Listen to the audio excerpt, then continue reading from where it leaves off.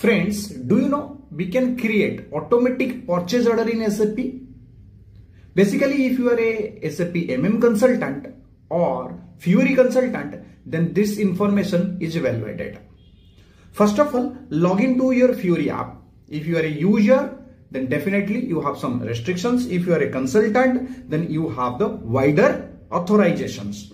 So what you can do is, first of all, you can log in your Fiori Launchpad there you will find a search option. I'll be show you where you can find your search option. You can see here there is a search options is available. Click on that. Once you click on that what happened is you have to put the information what we are putting over here. Okay? So that is automatic a u t o m a t i c automatic purchase p u r c h a c purchase order o r d e r.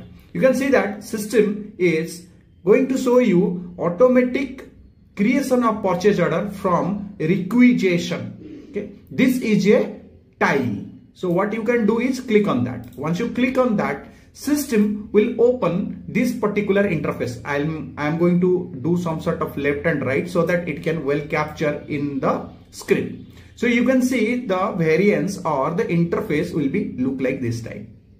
There are common steps you need to follow. First of all, what you can do is you can see here there is a tick mark under the company code that you needs to remove it first. So we can remove this one. Similar to that in right hand side there is one more tick mark that we needs to remove and one more tick mark we needs to enable. Okay. Which tick mark we needs to remove?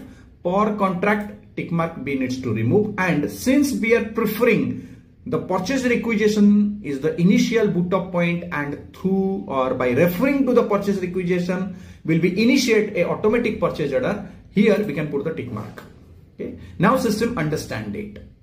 Where we can put our purchase requisition value that is also essential. What we can do is I'll be show you the exact place. So slightly we can scroll down fast let it be scroll down so that all the information should be populate and there we identify where we can put our purchase requisition.